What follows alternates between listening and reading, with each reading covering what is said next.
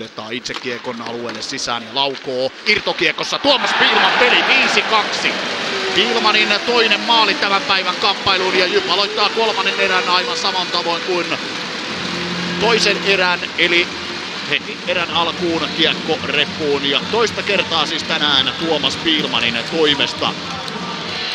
Päädystä kiekko ponnahtaa kuin tarjottimelle Piilman